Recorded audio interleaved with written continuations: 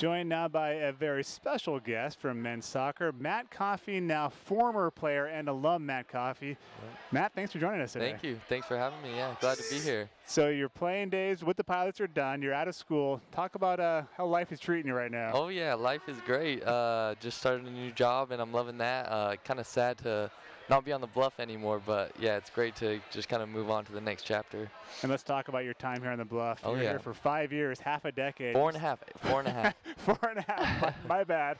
But you saw probably a little bit of everything during your playing days. You're part of the new staff when they came in, and you guys immediately won that conference title, went Yeah. to the playoffs.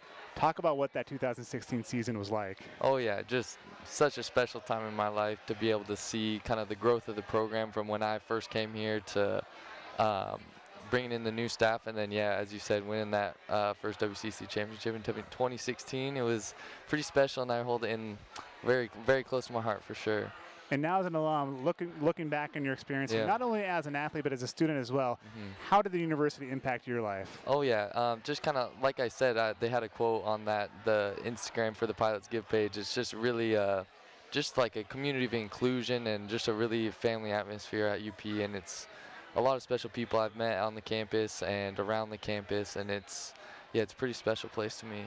Merlo Field is that Yeah. probably the best place you've ever Oh played? my goodness, yeah, that is. I don't even know how to explain what what Merlo is, how special Merlo is. Oh yeah, there it is. um, yeah, it's really is just basically like a church to me. Merlo, yeah, pretty special and pretty uh, um, just a very kind of sacred place to me. And looking back, you just saw the video of the- Yeah. the, celebration of that 2016 title. Mhm. Have you ever seen that many fans run on, Oh the, my on goodness. the Merlo Field before? No way, not not even close. I don't. I'm trying to remember. I haven't, I haven't even seen videos of uh, fans like that except for when we won the championship in w, or 2016. So It's, yeah, it's not have been a often special that you see fans running on the Merlo Field. I know. I've, well, I've on seen it any twice. soccer field, yeah. True. I've seen it twice. You and then of course Aaron D stopping all those PKs against Washington State. Okay, well I wasn't here. 2012. Okay, that was probably before my Okay. time, It was a little bit more subdued celebration, but Yeah. just just as special. Merlo Field is a magical place. no doubt. And today is all about Dave giving pilots Yeah. give.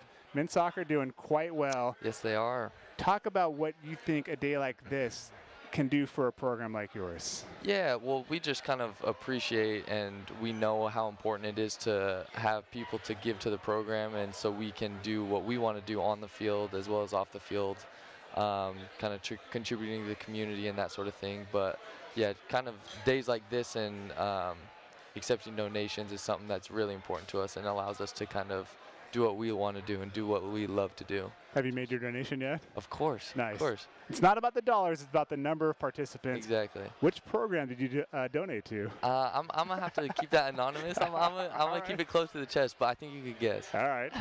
Matt Coffey, thank you so much cool. for joining Thank you, us. Adam. Good to see you. Good to see you.